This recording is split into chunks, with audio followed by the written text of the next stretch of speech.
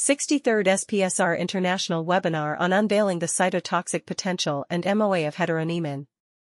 Speaker for this event is Professor Mohamed El Shazly, Professor, Department of Pharmacognosy, Faculty of Pharmacy, Ain Shams University, Cairo, Egypt.